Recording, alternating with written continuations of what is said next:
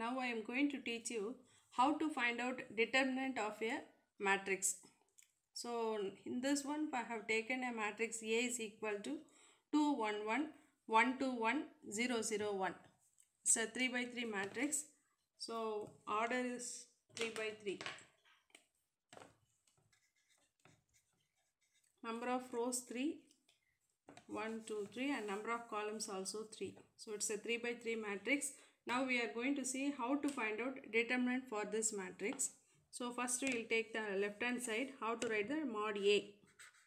Mod a is equal to write the given matrix in the determinant form 2 1 1 1 2 1 0 0 1 now we are going to expand this. Take the first row first element. So first row first element is 2 and leave the corresponding row and corresponding column. So here the first row and the first column we have to omit. Take the remaining one that is 2 1 0 1. Okay. Now take the second element. In this place the matrix the place value that is the place sign is minus. So make it as minus and here the element is 1. So minus 1 corresponding row and corresponding column we have to omit take the remaining 1 1 0 1 so 1 1 0 1 then the last one is for this place the sign is plus. So plus the element is 1 corresponding row and corresponding column we have to omit. Take the remaining. 1 2 0 0 so this is the first step for finding the determinant. Now we are going to expand this 2 into multiplying in this way first.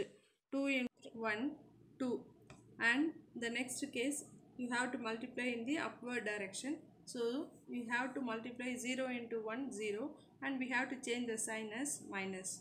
So minus 0 here it is minus 1 1 into 1 in this direction 1 into 1 1 and the upward direction when you are multiplying we have to change the sign. So it is minus 0 plus 1 into here 1 into 0 0 minus 2 into 0 0 so in the next step 2 into 2 minus 1 into 1 plus 0 so 4 minus 1 so the answer is 3 therefore determinant of a is equal to 3 okay. So this is the way we can find the determinant for a given matrix. Likewise i have given example problems.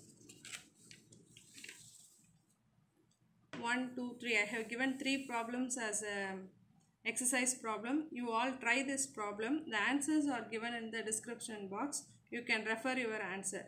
Here also the first matrix you take minus 1 leave the first row and first column. Take the first minor minus 1 2 1 1 then minus 1 corresponding row and column you can omit 0 2 1 1 then the last element plus 1 into corresponding row and column you can omit. You can take 0 minus 1 1 1 and multiplying this you can get the answer. Likewise in the b matrix and c matrix. Answers given in the description box. You can refer your answer. Thank you for watching